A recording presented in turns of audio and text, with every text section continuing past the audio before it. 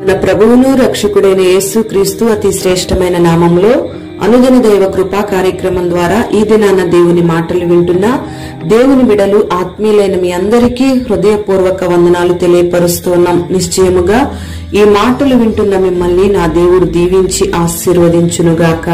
ప్రియ దేవుని బిడ్లారా ఈ లోకంలో మనిషి యొక్క జీవన శైలిలో లేచిన దగ్గర నుంచి పిల్లలు తల్లిదండ్రులతో తల్లిదండ్రులు పిల్లలతో ఇరుగు పొరుగు వారితో బంధుమిత్రులతో తెలిసిన వారితో స్నేహితులతో ఫలానా విషయంలో జాగ్రత్తగా ఉండండి ఆరోగ్య విషయంలో జాగ్రత్తగా ఉండండి ప్రయాణమే వెళ్తున్నారు జాగ్రత్తగా ఉండండి అని ప్రతి విషయాన్ని గుర్చి ఒకరికొకరు జాగ్రత్తలు చెప్పుకోవడం మనం చూస్తూనే ఉన్నాం వింటూనే ఉన్నాం.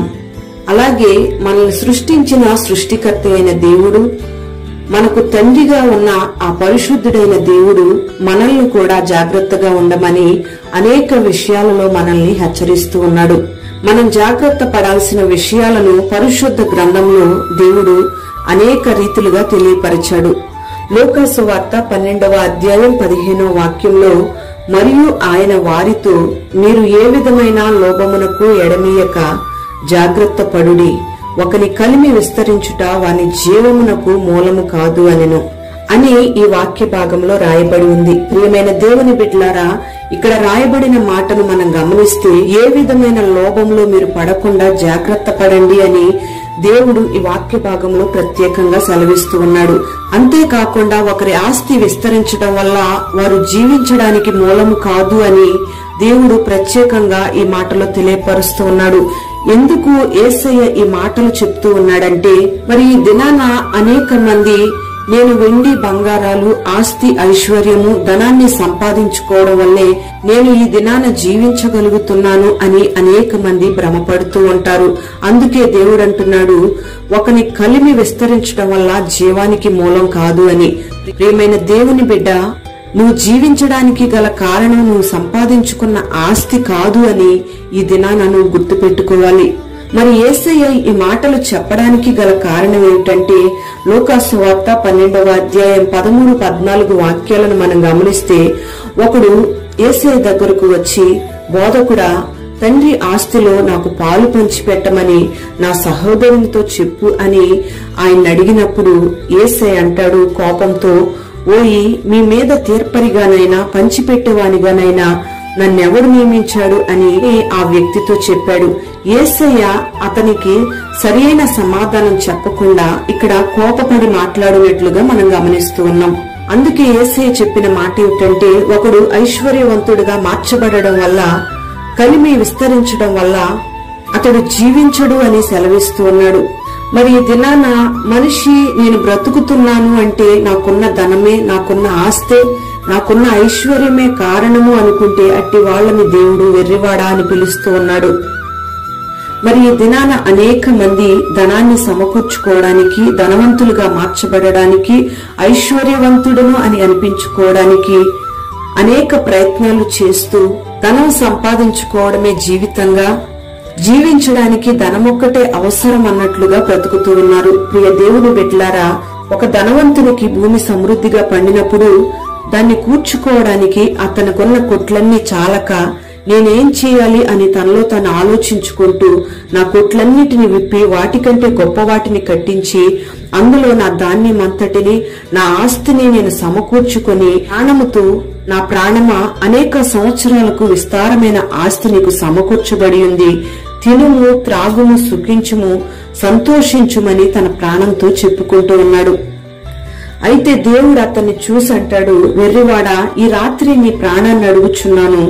నువ్వు సిద్ధపరిచినవన్నీ ఎవరివవుతాయి అని ధనవంతునితో దేవుడు చెప్పడం జరిగింది. ప్రియ దేవుని బిడ్లారా ఇది ఏసయ్య చెప్పిన ఉపమానం. ఒక వ్యక్తికి ఐశ్వర్యం కలగాలన్నా ఆశీర్వాదం కలగాలన్నా అది దేవుని యొద్ద నుంచే వస్తుంది అనే సత్యాన్ని ఈ దినాన ప్రతి ఒక్కరూ కూడా గ్రహించాలి.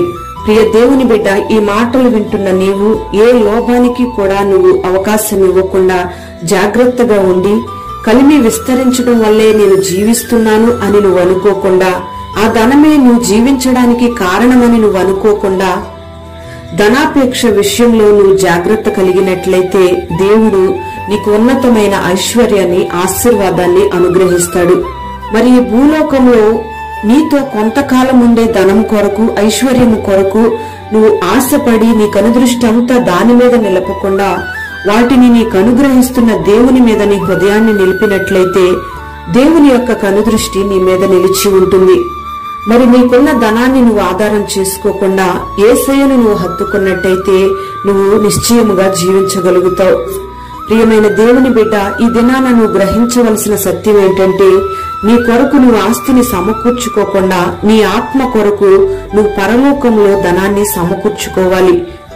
నువ్వు పరసంబంధమైన ధనాన్ని సమకూర్చుకుంటేనే నీ ఆత్మ నశించిపోకుండా యుగయుగాలు పరలోకంలో నిత్య మహిమలో సంతోషంతో జీవిస్తావు. మరి లోక సంబంధమైన ప్రజలు వెతుకుతున్నట్లు భోజనం కోసం వస్త్రాల కోసం ధనము కోసం నువ్వు చింతపడకుండా పరలోక సంబంధమైన ధనం కోసం నువ్వు ప్రయాసపడాలి ప్రాకులాడాలి. ప్రియ దేవుని బిడ్డ ఒకవేళ ఈ దినాన నువ్వు దేని స్థితిలో ఉండి దేవుని ఆశీర్వాదం కొరకు వెదుగుతూ ఉన్నావేమో దినాన నువ్వు దేవుని రాజ్యం కొరకు వెదుగుతూ దేవుని కొరకు ప్రయాసపడుతూ పరలోక రాజ్యంలో నీ ధనాన్ని సమకూర్చుకోవాలని ఈ భూలోకంలో అనేకమైన శ్రమలు ఇబ్బందులు పడుతూ ఒక దేన అవస్థలో నువ్వు ఉన్నావేమో. నువ్వు దేవుని యొక్క నీతిని ఆయన రాజ్యాన్ని వెతుకుతున్నావు గనుక ఈ భూలోకంలో ఉన్న ప్రతి ఆశీర్వాదాన్ని దేవుడు నీకు అనుగ్రహిస్తాడు. అంతేకాకుండా పరలోక సంబంధమైన దీవెనలు నీకు అనుగ్రహిస్తూ పరలోకంలో ఉన్నతమైన స్థానంలో నిన్ను నిలబెట్టడానికి దేవుడు సిద్ధంగా ఉన్నాడు.